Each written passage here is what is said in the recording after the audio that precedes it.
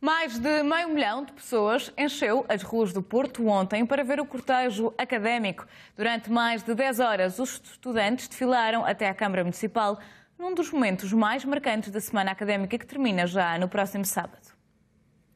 Esta é uma reportagem que vamos ver já de seguida em relação ao cortejo da Semana Académica no Porto.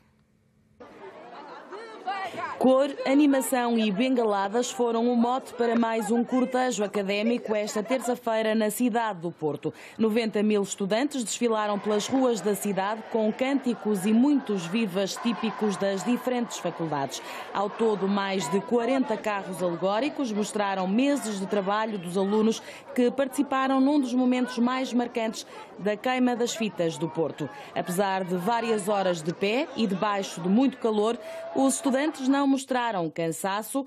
Ao contrário, falaram de uma iniciativa marcante e única para quem frequenta as universidades do Porto.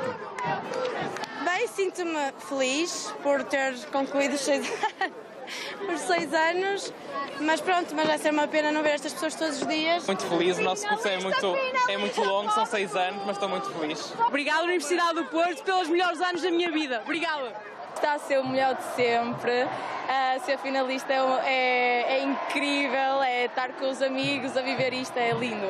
A ver passar os estudantes das diferentes universidades, os familiares não esconderam a felicidade por verem mais uma etapa concluída. A emoção era visível nos pais e mães que tiraram o dia de férias para acompanhar os filhos. É uma alegria vê-lo, sem dúvida, e orgulho, sem dúvida. Uma alegria, nem há palavras. Deixou de ir, de ir trabalhar para vivê-la? Sem mais cedo. O cortejo marca anualmente a queima das fitas da cidade invicta. Este ano o tempo ajudou e superou as expectativas da organização. O tempo está claramente a nosso favor e por isso estão reunidas as condições para que, a partir, a partir de agora, tal como aconteceu para trás, corra tudo, tudo muito bem. De facto, temos ainda, temos também aqui muitas famílias, muitos, muitos amigos, muitos estudantes. De facto, o cortejo demora quase 11 horas e por isso é um momento também muito importante para os estudantes da academia e é a forma dos estudantes se mostrarem para a cidade.